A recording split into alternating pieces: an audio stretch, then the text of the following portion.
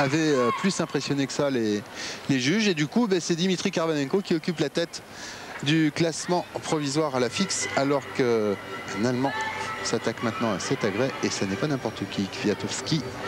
Sven Kwiatowski, pas facile. Alors qu'on revient là euh, au tour sur un bras qui avait euh, plutôt disparu ces dernières années. Voilà, bah là aussi, il faut varier les figures et prendre et piocher un petit peu dans tous les groupes. Le code de pointage, voilà, le Kovacs bien emballé.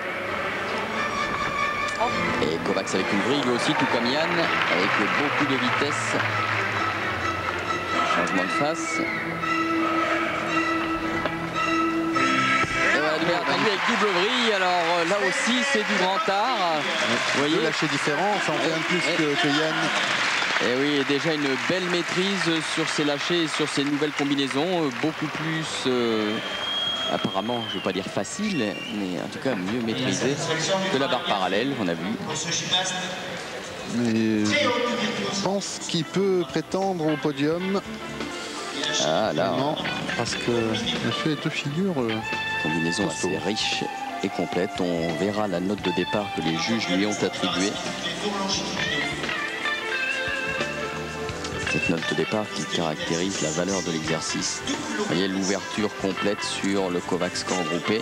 C'est son premier lâcher. Et ensuite, il fait la même chose. Et très au-dessus de la barre. hein. Voilà, en mettant une vrille complète. Voilà, ça c'est fort.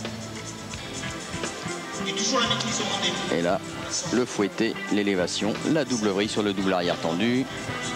Qui est beau en plus, bien tendu. Une belle ouverture pour maîtriser la stabilité de la chute. Un bel exercice de Sven.